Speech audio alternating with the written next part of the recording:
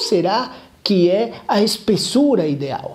Hoje se acredita que Bom, são dados bem complexos porque ninguém estudou a espessura de uma gravidez natural, que muda imensamente, mas na fertilização in vitro, que a gente faz e faz os controles, na fertilização in vitro nós sabemos que a espessura tem que ser no mínimo de 7 milímetros. Ai, doutor, mas não tem gente que engravida com menos? Sim. Não tem gente que engravida com 16? Sim. Com 22? Sim. E lembro até hoje uma menina que estava com 22 de endométrio, lembro hoje hoje, até o rosto dela, isso foi uns 7, 8 anos atrás, que fiz ultrassom, vi o endométrio de 23, 22, 23, fomos lá, checamos com.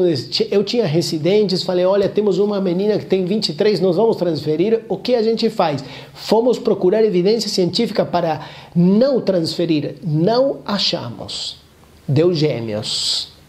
Ou seja, existe limite superior? Muito confuso ainda. Existe limite inferior de espessura do endométrio. Aparentemente, a partir de 7 milímetros, a taxa de gravidez é igual para todo mundo. Menos disto, existem alguns endométrios que precisam de mais tempo para ficarem prontos.